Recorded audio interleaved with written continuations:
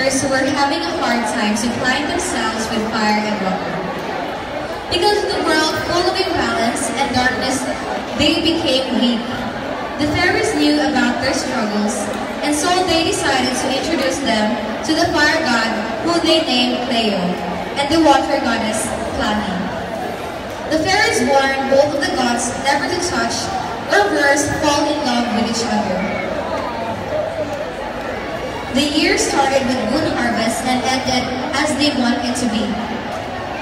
As a sign of gratitude to the gods, every year the villagers danced with joy and bliss. The god of fire was worshipped by the Alia villagers, which was a cluster of ladies, and the goddess of water was praised by the Bungi tribe of men. They lived peacefully and everything was in harmony. As Cleo continued his duties and responsibilities as what the fairies told him, he couldn't help but feel mesmerized with the beauty and kindness of Cloudy. But destiny was unstoppable like the wind that touches the palms of the trees. They fell for the thing called forbidden love. They tried to stop the feeling that was growing, yet they failed and forgot about their responsibilities. The villagers noticed that the harmony that was once there had vanished. They wondered where the gods went and looked for them.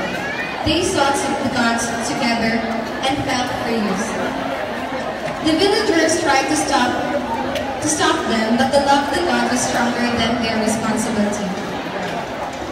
The gods tried to escape, leaving the villagers weak and hopeless. Yet the fairies found out about this and felt betrayed.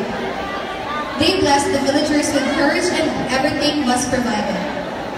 The fairies then punished Cleo by turning him into a mountain which was static, emotionless, and another source of livelihood, while Plani shred in tears, forming a vast amount of water that later turned into a riverbed.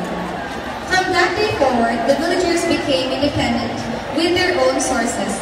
Simulab became one of the most known places because of their good harvest and products.